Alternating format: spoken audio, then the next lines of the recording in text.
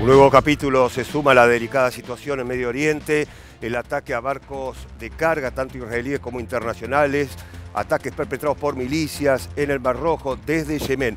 Un informe especial y en minutos analizamos este tema.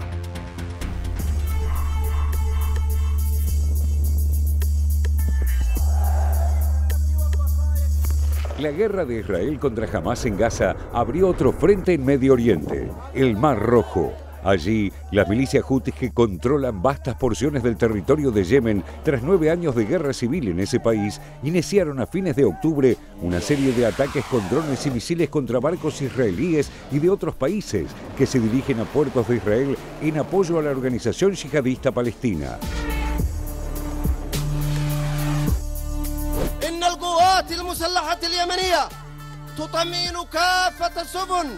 المتجهة إلى كافة الموانئ حول العالم. عدا الموانئ الإسرائيلية لأنه لن يصيبها أي أذى وأن عليها الإبقاء على جهاز التعارف مفتوحا. El paso por el Mar Rojo a través del Canal de Suez es la ruta más corta que vincula a Europa y Norteamérica con Asia y concentra el 12% del tráfico marítimo mundial, en especial el transporte de petróleo y de containers, por lo que cualquier disrupción de la circulación naval por este corredor tiene efectos inmediatos en las cadenas logísticas y los precios de la energía a nivel global. Por lo pronto, grandes compañías como British Petroleum y Maersk suspendieron la navegación por el Mar Rojo y comenzaron a derivar sus naves a una ruta alternativa por el Cabo de Buena Esperanza en el extremo sur de África, lo que agrega días de viaje e incrementa los costos de combustibles en hasta un millón de dólares por barco. The vessels start looking at a transit around um, Africa, that could add at least 30 days to the transit, plus the cost to be able to, to do that transit. So, again, as this conflict wears on, you could see a, a fairly substantial increase in energy prices, especially as you're looking um, into, into the European region because of um, the transit route that, again, adds another 30 days to the, to the transit of, of the petroleum products. Algunos de los ataques lanzados desde Yemen fueron interceptados por buques de guerra estadounidenses en el área, pero las milicias hutis no se limitaron a lanzar misiles, sino que también capturaron barcos comerciales mediante tropas aerotransportadas y lanchas rápidas. Ante esta situación, Estados Unidos anunció el lanzamiento de una operación multinacional para garantizar el tráfico comercial por el Mar Rojo según anunció el secretario de Defensa Lloyd Austin desde Bahrein, donde la Marina estadounidense tiene su comando naval central y es sede de la Quinta Flota. La Fuerza de Tareas para neutralizar los ataques hutis estará integrada por unidades navales del Reino Unido, Canadá, Francia, Italia, Países Bajos, Noruega, España y la propia Bahrein.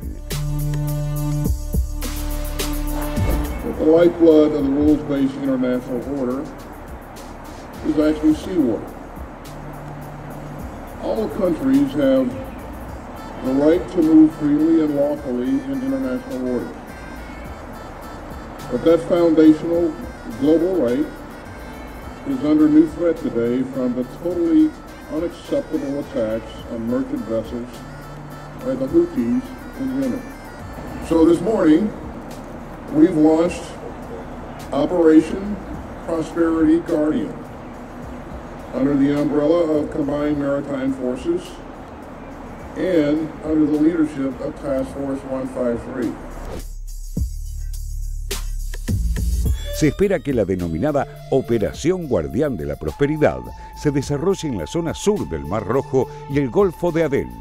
La respuesta Houthi llegó de inmediato, acusaron a Estados Unidos de ser parte de la agresión contra Gaza, de buscar militarizar el Mar Rojo y amenazaron con atacar los barcos de cualquier país que actúe contra sus fuerzas.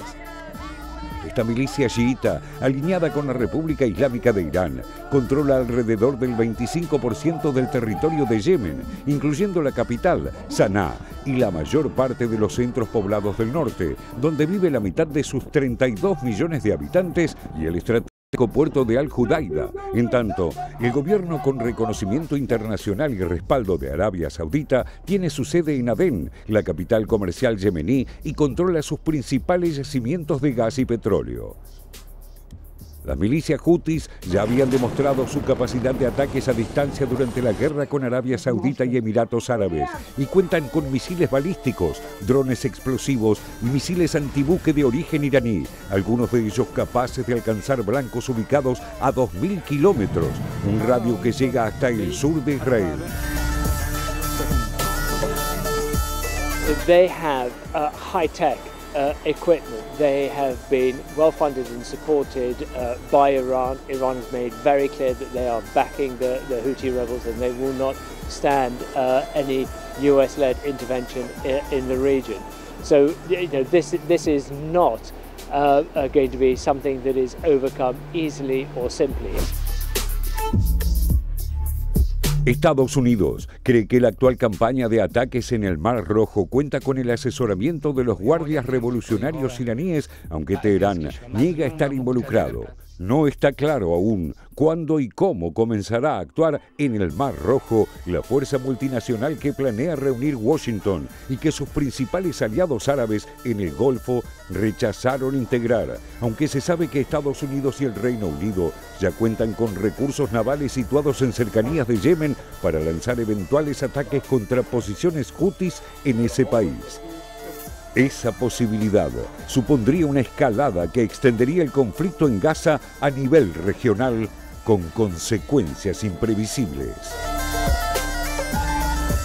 Recibamos el informe, un nuevo capítulo eh, ante la delicada situación en Medio Oriente, un nuevo capítulo que tiene, y estaremos ya mirando el primer mapa, el Mar Rojo. Bueno, allí está la ruta original de los barcos de carga, punto de partida Singapur, punto de llegada Rotterdam. Y allí está el Mar Rojo donde se han producido los ataques por parte de milicias desde Yemen. Bueno, que han hecho entonces este, los diferentes barcos, este, tanto israelíes como internacionales. Bueno, una ruta alternativa. Esta es la nueva ruta. Aquí está, alrededor del extremo sur de África, 11.800 millas náuticas, un poco más de 21.000 kilómetros y 36 días más de navegación, casi el doble que implementaban los barcos de carga en la ruta original. Y otra cuestión también, que no es menor. Claro, necesitan más combustible estos barcos porque es mucho más la ruta. Un gasto extra de un millón de dólares por lo menos por cada embarcación. Bueno, así están las cosas. Aquí la ruta original, que ya no se utiliza por los ataques en el Mar Rojo, y esta nueva ruta. Casi el doble de tiempo tardan los barcos en llegar al puerto de Rotterdam. Bueno, les queríamos contar esto para estar concluyendo este informe especial, para que veamos, bueno, cuáles son los dos mapas y qué está sucediendo a partir de ahora, luego de los ataques. Bueno, se hable un nuevo conflicto y esto es así, Ever. Bueno, Pablo, como muy bien lo explicaba el informe y vos recién a partir de los mapas, lo que vemos es en cierta medida una extensión o una repercusión derivada del conflicto entre Israel y Hamas. ¿Por qué? Porque estas eh, milicias hutíes, recordemos que están en conflicto con el gobierno de Yemen desde 2015, eh, eh, ya nueve años. Recordemos además que se trata de un conflicto con eh, consecuencias trágicas. Estamos hablando más de un millón de desplazados y hay cientos de miles de muertos en estos nueve años en lo que eh, la ONU había denominado hasta hace poco como eh, la catástrofe humanitaria más importante en el mundo de los últimos años, es decir, un conflicto muy importante. ¿Qué han hecho estas milicias? Como lo veíamos en el informe, en una suerte de muestra de apoyo a Palestina, arrojan misiles, drones kamikazes o realizan operaciones en lo que es una circulación estratégica para el comercio mundial marítimo que ocurre, como mostrábamos recién en los mapas, en el Mar Rojo y sobre todo a partir de la conexión con el Canal de Suez, que claro. Eh, abarata notablemente y transformó desde fines del siglo XIX todo lo que son las rutas comerciales por vía marítima.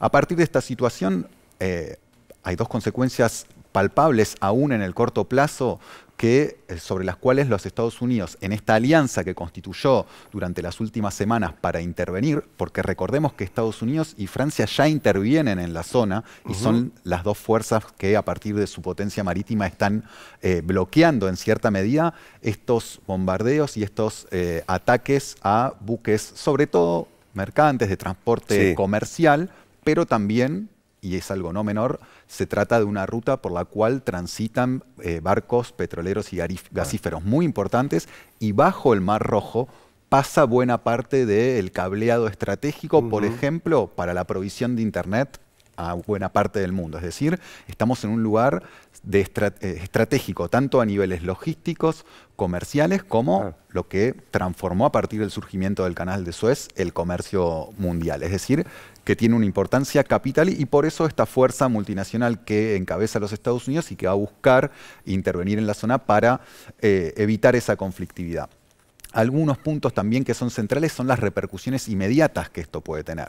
Discutían los especialistas durante esta semana si ya rápidamente esto podía generar un impacto en el comercio mundial, no solo en términos de tiempos, como explicábamos recién, estos 10 a 15 días suplementarios para llegar a Rotterdam y ni que hablar luego a los Estados Unidos, pero digamos la provisión de bienes hacia lo que es Europa y Estados Unidos, sino también el aumento de los costos, digamos, los costos logísticos en este caso eh, aumentan notablemente y eso podría encarecer los precios en un contexto en el cual la gran lucha de Europa y Estados Unidos es la de hacer bajar la inflación. Bueno, esto podría tener un impacto inflacionario, sobre todo si perdura en el tiempo. A priori, si esto termina de resolverse durante las próximas semanas o al menos disminuir, no debería tener un impacto inflacionario grave. Lo que sí tuvo, y también muestra la importancia capital de esta ruta, fue un impacto en el precio de los combustibles y del gas. El lunes, la Unión Europea, había un artículo esta semana de Bloomberg que señalaba que en promedio los países europeos aumentaron sus facturas de gas en un 13% a partir de lo que genera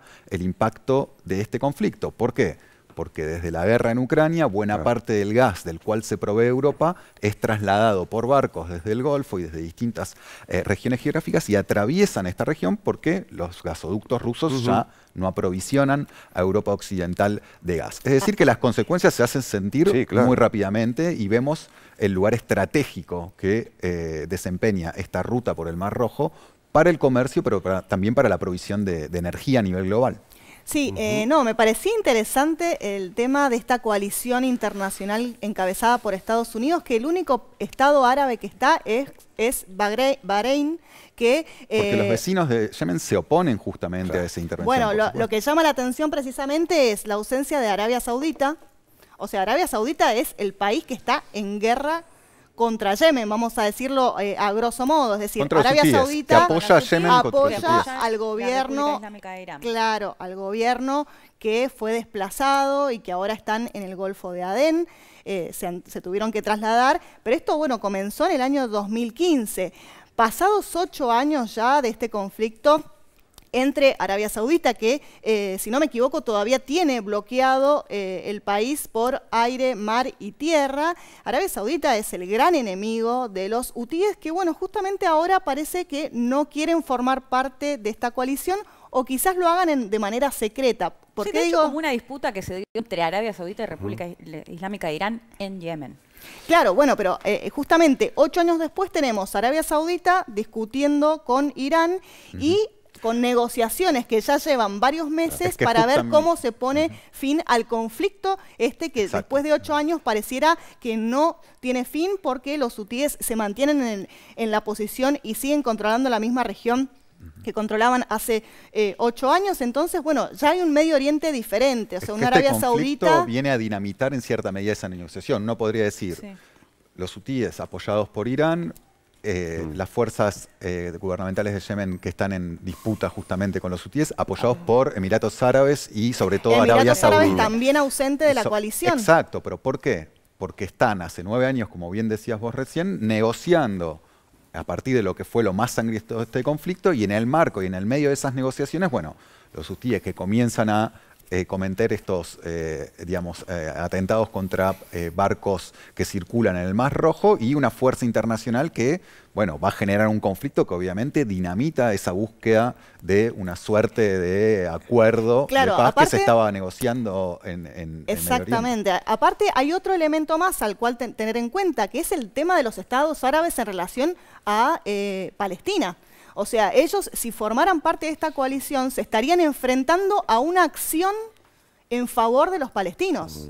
Y eso también implica un costo político fuerte, sobre todo teniendo en cuenta que más allá de los pronunciamientos generales de apoyo al pueblo palestino en contra de Israel, hay todavía se, ve una falta de respuesta contundente. Los únicos casi han sido los hutíes, que están eh, de alguna manera eh, con estas acciones de contrainsurgencia o de guerra híbrida, bueno, eh, apoyando la causa palestina y provocan una presión internacional tan grande que también se entiende un poco que Israel, perdón, que Estados Unidos esté presionando cada vez más a Israel para que eh, transforme su ofensiva en otra cosa, en un eh, ataque menos, eh, menos violento, más quirúrgico, con menos bajas civiles, ¿no?